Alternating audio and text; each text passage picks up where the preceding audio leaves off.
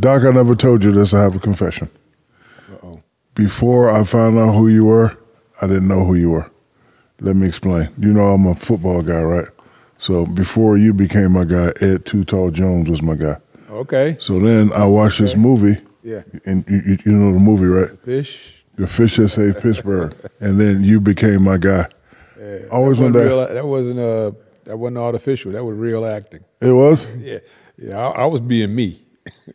like cause, cause like have you ever seen that movie Fish Saved Pittsburgh? Yeah, you need to check it out. So Yeah. it's a basketball movie. It's classic. So when I saw that, and you know what he was doing, I became a fan. And then my father see me to, to, to uh, took me to the, garden to watch him play, and I was like, "That real." Yeah. Like he went baseline, and when he dunked it, and the crowd stood up, because I was a, a high level juvenile delinquent, I was always getting in trouble. Mm-hmm. so I seen him go baseline, throw it down, the crowd went crazy. It's like when the crowd stood up, like the basketball guys just enter me, because I always had to address my father as sir, because he was like, you know, don't talk to me until you get your life together. So I was like, sir, I finally figured out what I want to do in my life, and he was like, what?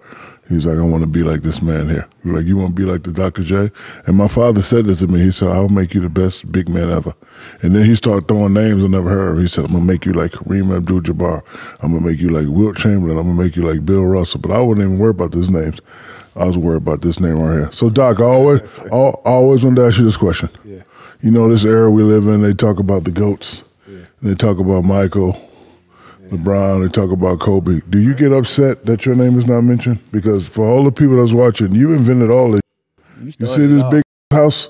That's you. You see all these goddamn cars I'm driving? That's you. You see all the fancy suits I'm wearing? That's because of you. So I get upset when they don't mention your name. Do you get upset when people don't don't even say your name? This this younger generation? Well, what happens is uh, my nephew, who you know, Barry. He uh, he sometimes give me a call and he said they did it again.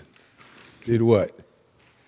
They left you out, and I'm just like, get used to it.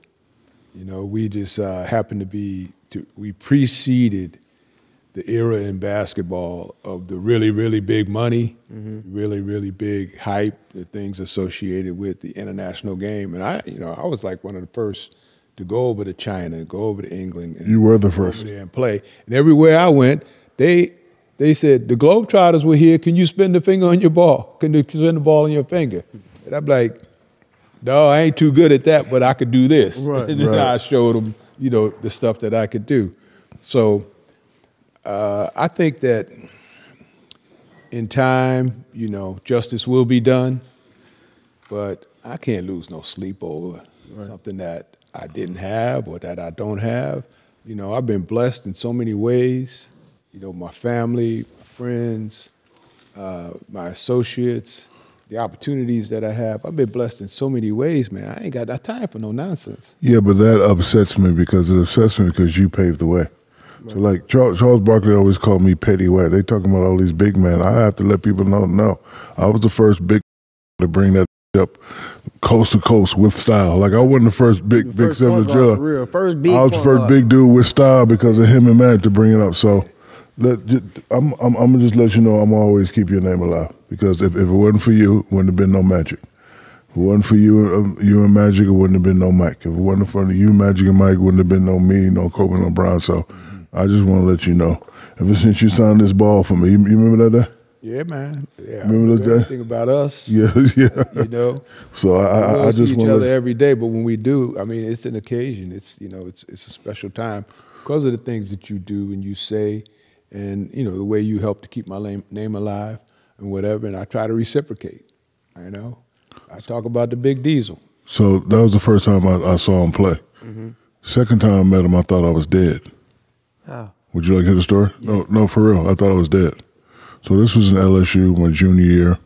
I know I'm going pro. I know I'm going pro. So Coach Brown had this thing: if you miss class, you're gonna have to run. Right. So I had the triple OG lock on my door.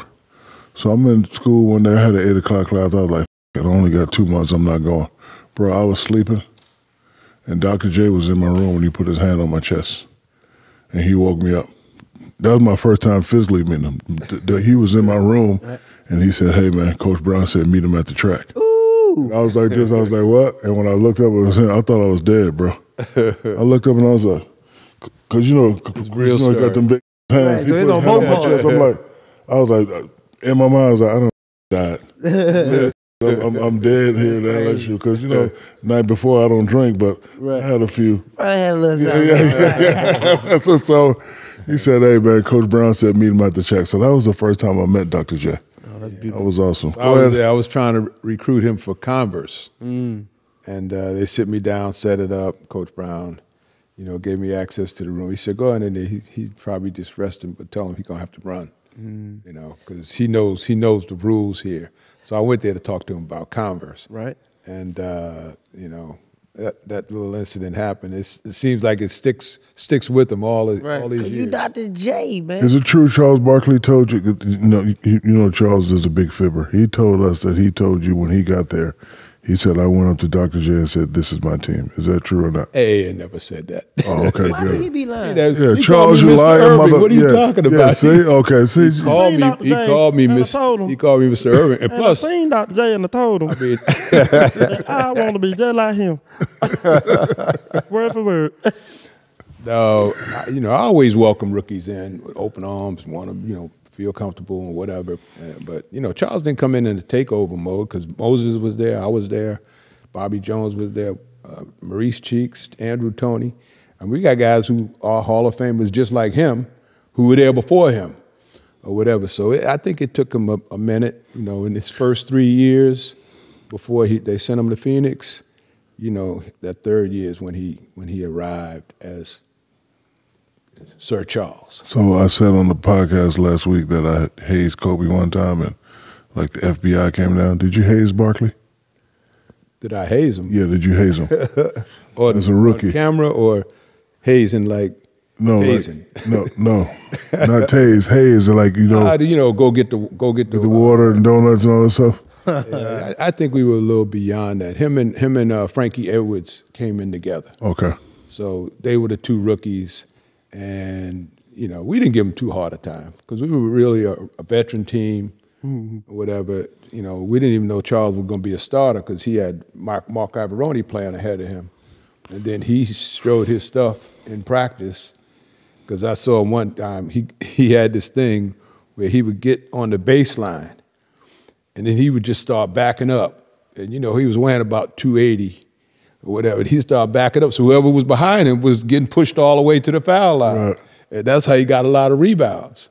And you know, we we noticed and said, "Hey, man, it's effective." And actually, uh, Paul Silas used to do the same thing. So I don't know whether he got it from Paul Silas or he invented it himself, but it worked.